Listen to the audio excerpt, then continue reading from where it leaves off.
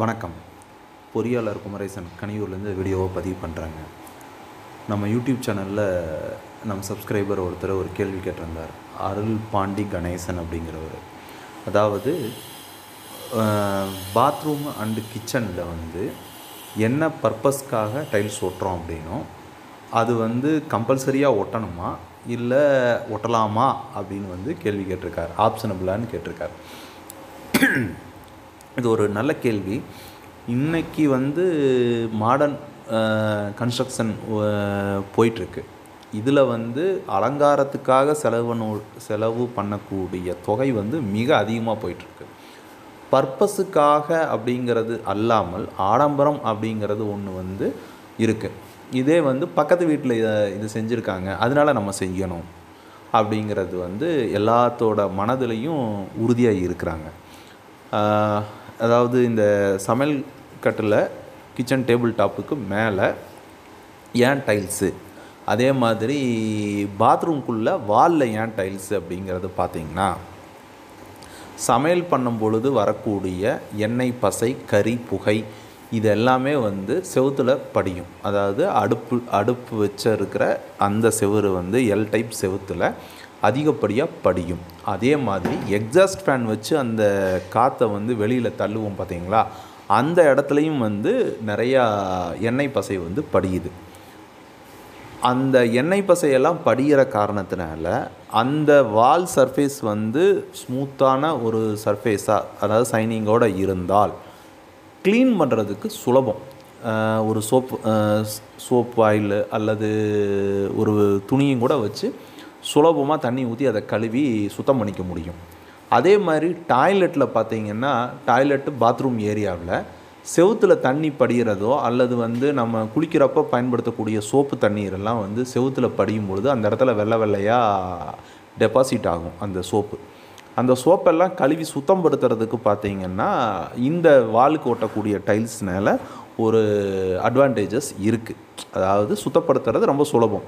அந்த க்ளீனிங் பர்பஸ்க்காக மட்டும்தான் வந்து நம்ம வந்து இந்த டைல்ஸுக்கு போகிறோம் பட்டு இதே வந்து இதுக்கு முன்னால் நம்மளுடைய பாரம்பரியமான கலாச்சாரத்தில் பார்த்திங்கன்னா சமையல் அறை வந்து செவ சுவத்துக்கு வந்து காவிக்கல் அடிப்பாங்க. அதாவது ரிடாக்சைடுன்னு சொல்கிறோம்ல அந்த பவுடரை ஃபஸ்ட்டு வந்து தண்ணியில் கலந்து சுண்ணாம்புக்கு மேலே வந்து காவிக்கல் அடிச்சிருப்பாங்க.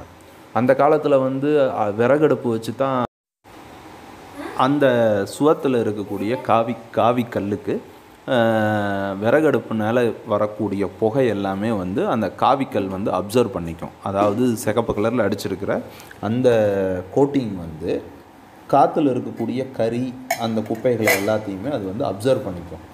அந்த கறி வந்து அதில் டெபாசிட் ஆகும் பொழுது பார்த்திங்கன்னா அந்த ரூமுக்குள்ளே இருக்கக்கூடிய மற்ற தூசுகள் அதாவது குப்பையெல்லாம் சொல்லுவோம்ல அந்த தூசு கண்ணுக்கு தெரியாத அந்த தூசுகளை எல்லாத்தையும் கறி வந்து இழுத்து வச்சுக்கும். இது வந்து ஒரு ஆரோக்கியமான ஒரு மெத்தடாலஜி இது அவங்க வந்து பழைய காலத்தில் பயன்படுத்தினாங்க. ஆனால் இன்றைக்கி இருக்கக்கூடிய நவீன காலகட்டத்தில் வீடு வந்து பிரைட்டாக தெரியணும். இருட்டாக இருக்கக்கூடாது அப்படிங்கிற ஒரு சென்டிமெண்ட்டான காரணங்கள் பல நவீன யுகங்கிற ஒரு போர்வையில் நம்ம இன்றைக்கி வந்து அந்த காவிக்கல் அப்படிங்கிறத நம்ம பயன்படுத்துறது இல்லை. உண்மையிலேயே வந்து இன்றைக்கி ஒட்டக்கூடிய டைல்ஸை விட அன்று பயன்படுத்திய அந்த காவிக்கல் வந்து ஒரு பல வகையில் வந்து மனிதனுக்கு ஆரோக்கியத்தை கொடுக்கக்கூடிய ஒரு வண்ணப்பூச்சு முறை தான் இன்றைக்கி டைல்ஸ் ஓட்டுறதை விட அன்னைக்கு பண்ணின காவிக்கல் வந்து உண்மையானுமே சிறந்தது. அப்புறம் அந்த காவிக்கல் அடிச்சிட்டு இருந்த காலகட்டத்துக்கு பின்னாடி நம்ம எனாமல் பெயிண்ட் அடித்தாங்க அதுவும் வந்து கழுவுறதுக்கு சுத்தமாக இருக்கட்டும் அப்படிங்கிறக்காக. ஏன்னா நம்ம வந்து விறகடுப்புலேருந்து க கெரோசினுக்கு வந்தோம். அந்த கெரோசினுக்கு அடுத்து தான் இப்போ கேஸுக்கு வந்திருக்கிறோம். கேஸுங்கும்போது வந்து புகையெல்லாம் ரொம்ப கம்மி. எண்ணெய் பசம் மட்டும்தான் அதிகமாக இருக்குது ஆனால் விறகடுப்பு பயன்படுத்தின காலகட்டத்தில் இந்த காவிக்கல் தான் வந்து இருக்கிறதுலே ஹைஜீனிக்கான பொருளாக பயன்படுத்தினாங்க. ஸோ வந்து சமையல் அறையில் ஏதோ ஒரு வண்ணமோ அல்லது ஒரு டைல்ஸோ பதிக்கிறதுக்கு உண்டான காரணம் அங்கு நிலவர குப்பைகளை சுத்தப்படுத்துறதுக்காகவும் அதை குப்பைகளை வந்து அதாவது தூசுக இது எல்லாத்தையும் சம நம்ம சமையல் அடுப்புக்குள்ளே விழுகாமல் இருக்கிறதுக்காக அதாவது பாத்திரத்துக்குள்ளே விழுகாமல் இருக்கிறதுக்காக பண்ணக்கூடிய மெத்தடாலஜி தான் இவைகள் எல்லாமே. ஆனால் அன்னைக்கெல்லாம் வந்து புகையடுப்பு மட்டும்தான் வச்சுருந்தாங்க. எக்ஸாஸ்ட் ஃபேன் எல்லாம் தேவையே படலை. அந்த அடித்த காவிக்கல்லே வந்து அந்த எக்ஸாஸ்ட் ஃபேன் செஞ்ச வேலையை அன்னைக்கு செஞ்சுச்சு. பட் இன்றைக்கி இருக்கிற காலகட்டத்தில் இது கம்பல்சரியான்னு கேட்டால் இது கம்பல்சரியா அல்லது தேவையாங்கிறத நீங்களே முடிவு பண்ணிக்கோங்க. இயற்கையோடு ஒன்றி வாழ வாழணும் இயற்கையை ப சரியாக பயன்படுத்தணும் அப்படிங்கும் பொழுது அந்த மாதிரி பழைய தொழில்நுட்பத்துக்கு போகலாம். இன்றைக்கி இருக்கிறது காலகட்டத்துக்கு இந்த பொலி புதிய தொழில்நுட்பத்தை நம்ம தாராளமாக பயன்படுத்தலாம். ஆனால் விறகடுப்பு பயன்படுத்துகிற அத்தனை இடங்கள்லையும் காவிகள் தான் வந்து அருமையான பொருள். அதை விட்டால் நல்ல பொருள் இல்லை. உங்களுடைய எதிர்பார்ப்புக்கான விளக்கம் கிடைத்திருக்கும் நினைக்கிறேன்.